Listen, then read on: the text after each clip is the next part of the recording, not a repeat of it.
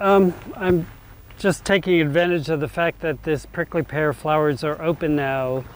Um, oh, this is uh, the prickly pears with the pads are Opuntia, and this is Opuntia polyacantha, and that means many spines. And us gardeners know all about their spines. We often go home with some. Um, but they're, they're really beautiful. And the, um, the prickly pears, you know, there are species that are native into New England, um, and then there are species that are, are, tropical that can only be grown as a houseplant. But there are a lot, lot of uh, prickly pears that are winter hardy. That little rusty colored iris over there is another one of the wild parents of the Louisiana iris. That's Iris fulva, referring to rusty red. It's a sweet little thing, blooms for a fairly long time. Which way shall we go? Oh, here's, we might as well see this beauty. It's quite a flower. The flower is bigger than the plant. Beautiful. Yeah. Wow. Yeah, the, the chollas um, used to be classified with the opuntias. They're now in a, a separate genus, Cylindropuntia. And some of these real thorny ones, the thorns aren't so much uh, for protection as they are for shade. This is its own shade structure. Uh, you know, some, some cactus are hairy, um, and that's cold protection and uh, sun protection because these are native to the southwest US and to Mexico where the sun is unrelenting. Um, and so these, these spines are actually um, more for shade. And I'm, I don't, don't ever do this, but I, have I found out that this one is actually not that, um, it's actually not even piercing my skin, but there are other chollas known as jumping chollas that are a nightmare. And um, their long spines have little barbs on them, so they're really hard to pull out. But usually you don't end up with the little spine in you, or just a little spine in you. You end up with a section of the stem because that's their means of getting dispersed. If you're a coyote and you, or a deer in the desert and you bump into one of those and you're, you know, 30 miles later it falls off you, well, that plant's now started a new plant, you know, far from the mother plant. Um, so the jumping chollas look a lot like this, but their spines are different. That's one there, but a one relatively um, unspined one. I should point out, you know, I don't it's sort of not of a spring open house plant. It's sort of like an old frost-free part of the year. These uh, shrubby salvias, they're blooming now. They'll be blooming in the uh, fall open house, summer open house. They'll almost make it, and they won't be in bloom at the winter open house, but they just bloom for months and months. They're often called autumn sages. I think where they're native in the southwest US and Mexico really hot, dry summers, they tend to shut down, but with our more abundant moisture, they tend to keep on blooming all summer. They are so worthwhile plants. You know, they're the kind of thing that's never a showstopper, like a lily or something, but most plants that are showstoppers are in bloom for two weeks. These things that aren't really showstoppers, but bloom for many, many months, sort of are the foil to all the big showy things that come and go. And hummingbirds love them. Has anybody seen hummingbirds yet this year? Yeah. Good. Good. I haven't yet, but I, am I'm, I'm heartened to hear that other people are seeing them. I think tomorrow I'll put up my hummingbird feeder at home. Oh, okay.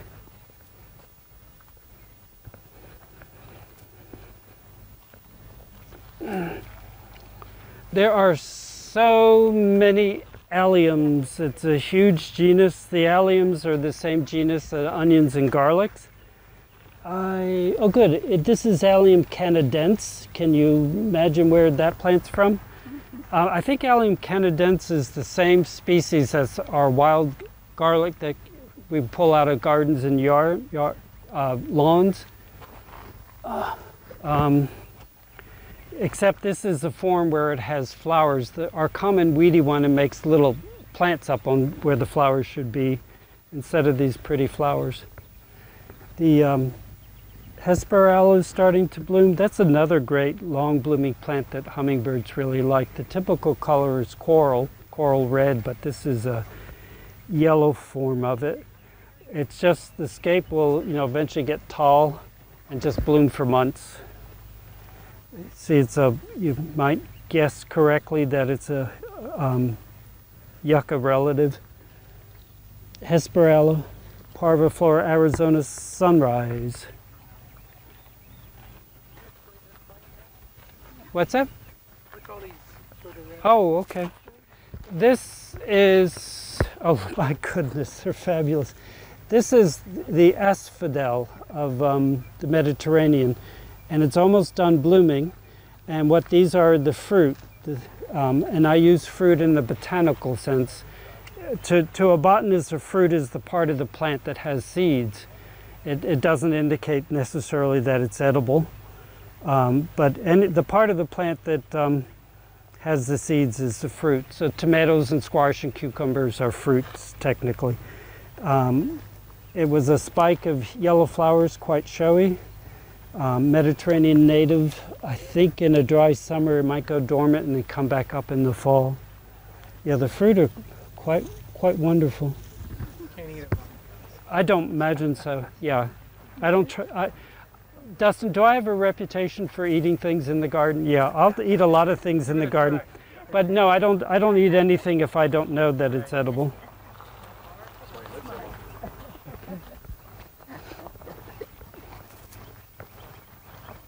Uh, let's see.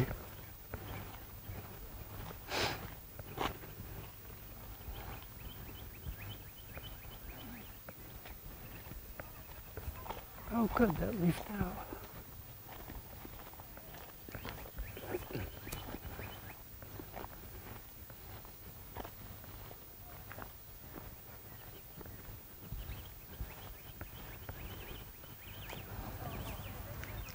Oh, that's what I tried this.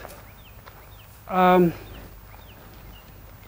the yuccas are very dramatic in bloom, and um, yucca flowers are edible. And I remembered that I tried this one a few weeks ago, and it, you know, it's edible, but it wasn't delicious.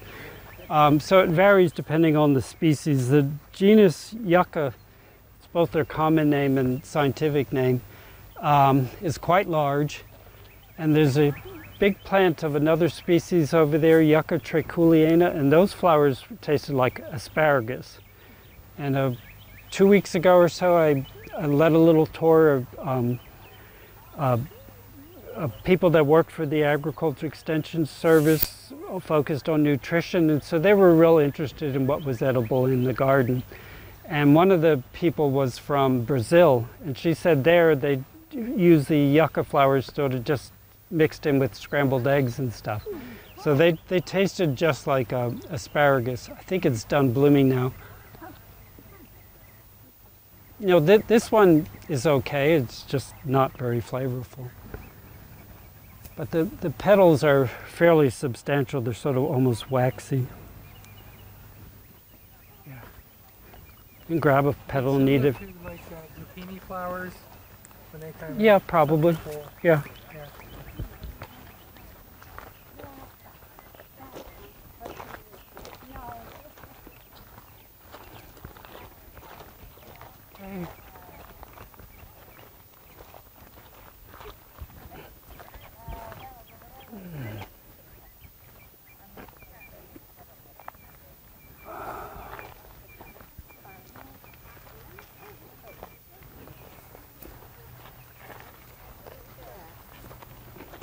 I, you know, this is sort of peak season for the baptisias, the, um, and I can see that one there and this yellow one here.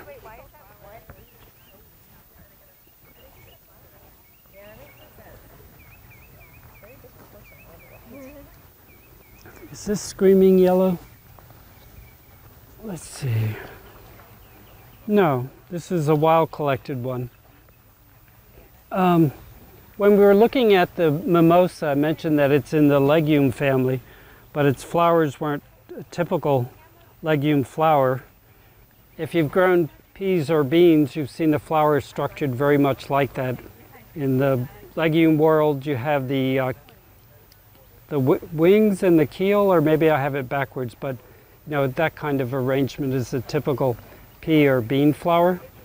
The Baptisias, a small genus, I don't know, maybe about a dozen species native to the uh, North America. And Tony has done a lot of breeding work and produced a lot of really um, beautiful hybrids, but this is a wild collected plant from Texas. It's um, Baptisia sphaerocarpa, meaning round fruit. Um, most of the other Baptisias have like an elongated pod, sort of like a pea pod. This is very spherical. Um, they are herbaceous perennials dying to the ground in the winter. Um, you know, blooming early, um, really, really showy in bloom. Pleasant enough the rest of the year. Um, you know, certainly thriving in full sun. They'll, they'll do fairly well in, in part sun. What else do we see here? Oh, further up the hill? Oh, right here, Lordy. Just around the corner. Yeah, we, we met the stinky Sauromatum by the porch beginning of the tour. This is um, uh, another aroid. You can see how big the spadix is going to be, and it'll reflex open like that and have the spadix uh, sticking up. Um, this is Dracunculus vulgaris. Now, in a plant like that, you might think, yeah, that's really vulgar. But in Latin, vulgaris just means common. Um, it, this is native to southern Europe, to the Mediterranean region, so the people centuries ago, they were putting names on plants, you know, it was common to them. Um, it's growing from a tuber underground and uh, is dormant in the winter, but comes up quite early and um, before it's even spring. Some have already finished blooming. Um, I'm thinking there might be another one further on that's in bloom. Here's a, another Baptisia. Um, I'll look for the label. I'm pretty sure that's Baptisia australis. Australis just meaning southern. Um, and the wonderful blue of that species. What do we have? Uh, Well, actually, that um, seems to be a hybrid because it doesn't have a specific epithet. It's blue mound. I'm glad when I see something with blue in the name that is actually blue and not violet. Um, beautiful color. There's other irises in this area. Maybe we've seen enough iris. Hmm?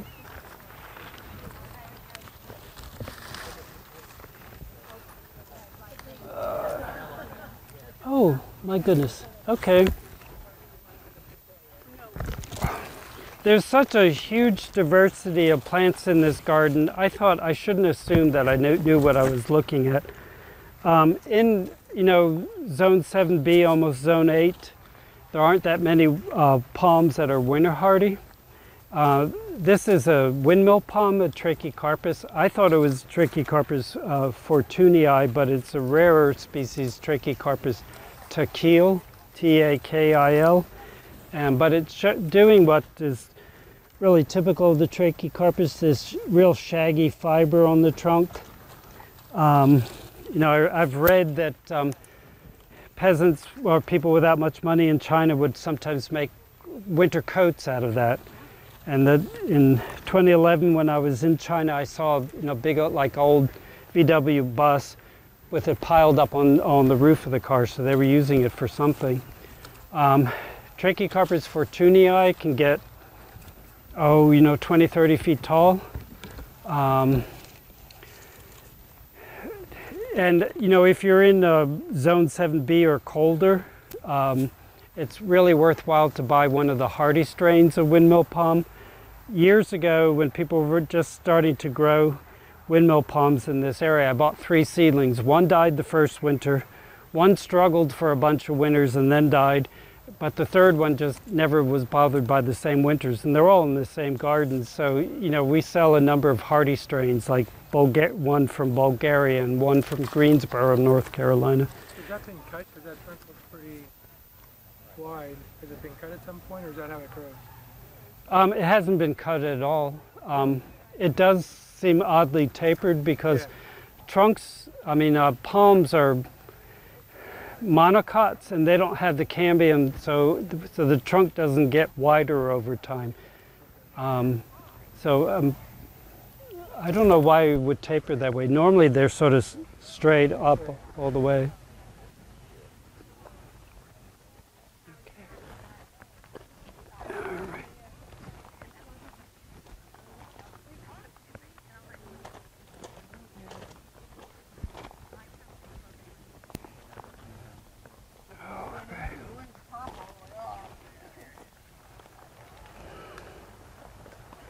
clumped together.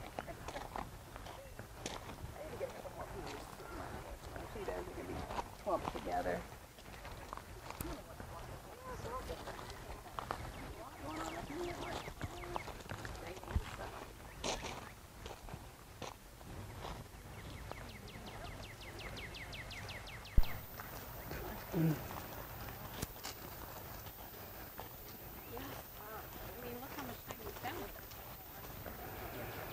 Oh, that smells great big hybrid elderberry called is this mocha chocolata or something? Is it it? I don't know. Oh. the name. Yeah, no, it, it has some chocolate in its name. Um, in garden centers, you'll often encounter uh, elderberries uh, with really beautiful foliage, often black, sometimes yellow. Um, but if they're derived from the European species uh, Sambucus nigra, they they don't last here long term. But this is a hybrid that is very very vigorous. And another one, um, and there isn't a plant out in this garden to show you, is a yellow leaf form of our local native Sambucus um, canadensis. And that's a really good plant too because it's, it's adapted to our climate. So I would say don't spend your money on the fancy cultivars that show up in garden centers and stick to either this guy, and I think I can find its label on it, or the um, yellow form of canadensis, which, what is that one? Blonde. I think it's blonde, and everything that's yellow nowadays seems to get named blonde this or that. Yeah. Um, all right.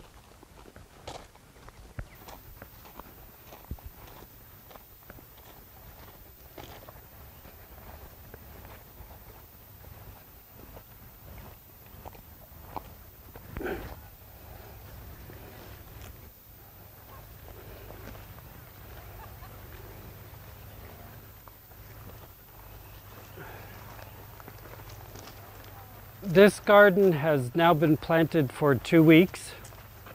Um, if you've been here before, you might remember this was a fairly ugly puddle. Um, you know, it caught runoff, but uh, and did really good job of growing weeds. So they've changed, turned it into a bog, um, where it'll still capture some water, but it, it won't. There shouldn't be standing water. There's overflow that there that will carry the um, excess water into that stream. Um, you can see it's featuring largely uh, pitcher plants, but other companions. I was told, oh yeah, no wait, I was told there's a bunch of Venus flytraps down here. I haven't. And the trunk is um, white, white cedar, which is Chamaecyparis uh, thyoides. Uh, uh, Chamaecyparis that occurs in eastern North America. And that, that's an ancient trunk that they uncovered. I don't know how long it'll last now that it's exposed to the elements.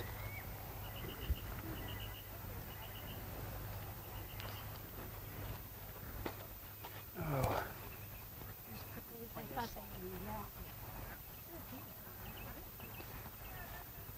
righty.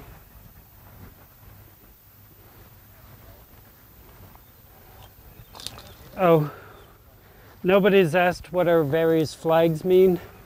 We use about every color flag in the garden, and um, lot, most of them we pull out before you come to visit. Um, but we leave the green ones and the white ones in there. The green ones are for a plant that needs a label, so I'm not able to tell you who this is because I don't know all the baptisias by sight, but it's a lovely thing.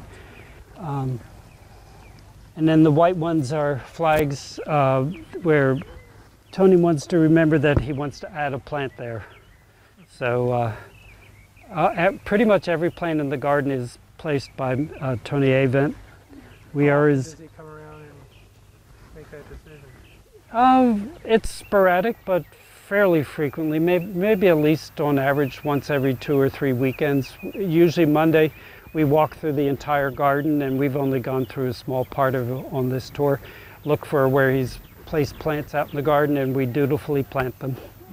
Yeah, and then they get a blue flag, which means it's a newly planted plant. So the people that keep the plant database have to record that there is now a baptisia in this location, and um, and then eventually, before too soon, before too long, gets one of these engraved labels, which we make in house. Um, how did he pick the plants? Just he has a list of them, or you'd have to ask Tony himself Okay. to ask that. You know, he has. Sometimes they're just plants that we have in production for sale, and we want to have them out in the garden. But more often than not, they're things we haven't tried before. He hasn't tried before, so they go out somewhere. The- Uh, this garden, all of Tony's garden, has never been about growing the tried and true things. It's all about trying things we haven't tried before, which means that a lot of plants prove that they're not suited to our climate and are, you know, soon dead or don't survive the winter or don't survive the summer. But you know, so you know, Tony's always been about finding things that we can add to our gardens that we didn't know we could even grow here before. Um, I need to uh, I stop and move on to other things. I didn't realize I took quite this much time. Um, I really appreciate you coming on this tour. Um, I encourage you to go through the rest of the garden. You know, we just sort of pass through the edges. This garden is especially strong and strong, especially strong in uh, summer into early fall. Um, you know, and we didn't even go through the shade gardens up by the first house.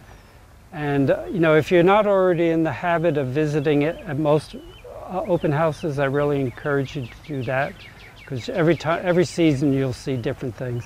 I've I've not even been an employee here for a year, but uh, you know, I've generally come to every open house I can, and usually don't miss many because I, it's you know such a great place to become familiar with things I haven't grown before. So thank you. Thank you. Sure, my pleasure. Fantastic. Yeah, thank you. Great to see you. Yeah, good to see you.